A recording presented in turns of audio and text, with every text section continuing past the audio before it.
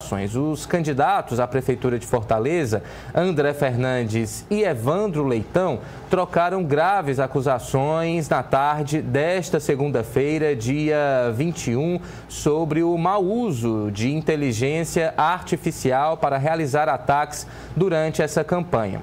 Em entrevista coletiva, André Fernandes acusou um filiado do PT no Eusébio, aqui na região metropolitana de Fortaleza, de ter disseminado uma fala falsa com o uso de inteligência artificial. A voz do candidato teria sido clonada, em que o candidato do PL admitiria a liderança de Evandro Leitão em pesquisa interna do partido.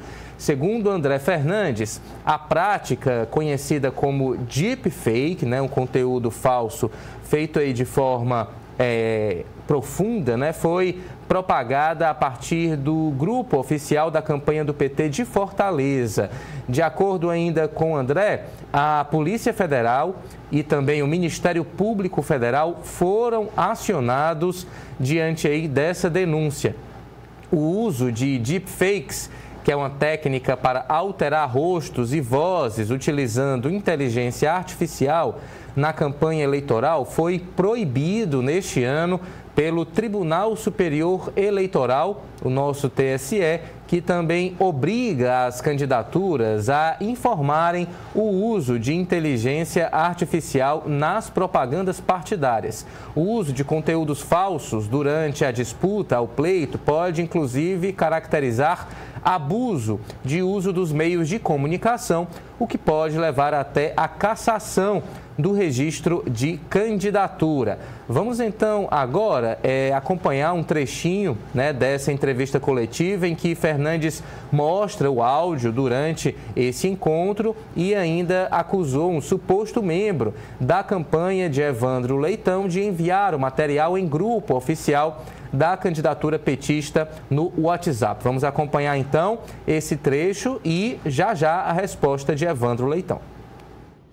A primeira postagem sobre esse áudio com deepfake, inteligência artificial, foi postada nas redes sociais através do seu chamado Jean Câmara, em collab com, pode passar, Paulo Belésia. Pode passar.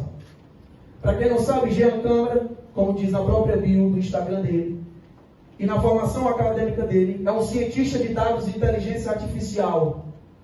Ele apresenta-se como engenheiro de dados sênior na BRF, uma das maiores empresas de alimento do mundo com 13 anos de experiência em tecnologia e informação e 8 anos na atuação de dados. Essa pessoa não é apenas alguém capaz de identificar uma deepfake, como é também um dos supostos autores. Quem é Jean Câmara? Que é alguém que trabalha diretamente com inteligência artificial. Jean Câmara é membro do diretório executivo do PT no Eusébio. Está ao lado dele? Paulo Belésio, que fez essa postagem em collab com Jean Câmara, foi candidato a vereador pelo PT no Eusébio. Eu estou falando de um candidato a vereador do PT. Eu estou falando de um membro da executiva do PT, diretório executivo do PT no Eusébio, que estão diretamente atuando na campanha do candidato Evandro Leitão. Jean, que se apresenta como cientista de inteligência artificial. Um cientista de inteligência artificial não só seria capaz de identificar que aquele áudio é fake, como ele estava disseminando. Eu peço, volto a pedir, a imprensa. Eu sei da importância da imprensa. Eu sei e reconheço a força da imprensa. Mas o que está acontecendo aqui é uma luta injusta e talvez só com as minhas redes sociais eu não vou conseguir dar atenção devida a algo tão desproporcional. Muito bem, André Fernandes ainda chegou a afirmar que um dos administradores desse grupo seria o próprio Evandro Leitão.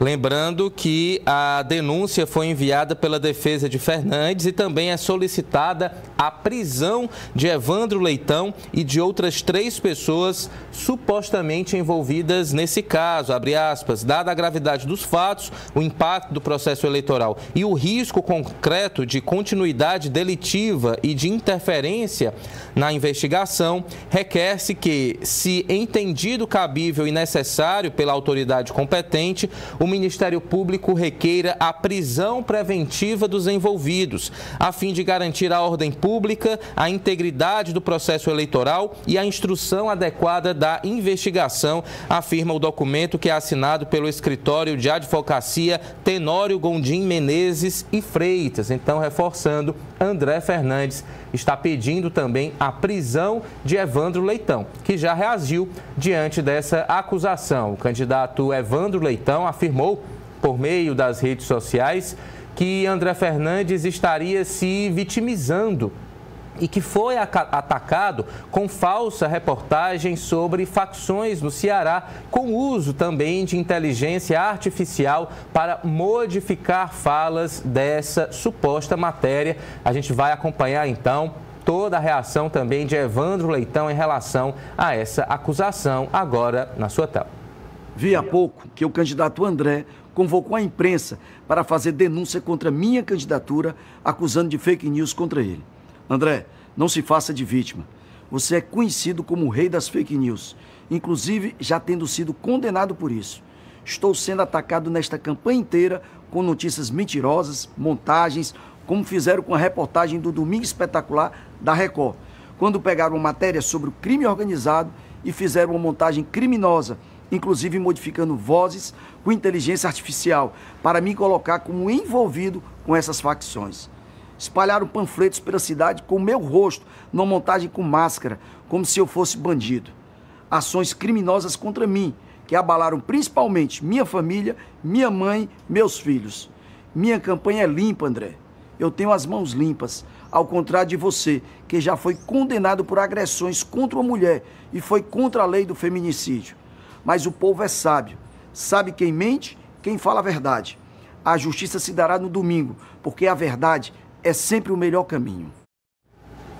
Muito bem, tá aí então a reação do candidato do PT, Evandro Leitão, a essas graves acusações feitas pelo candidato do PL, André Fernandes, em relação ao uso de inteligência artificial para realizar ataques.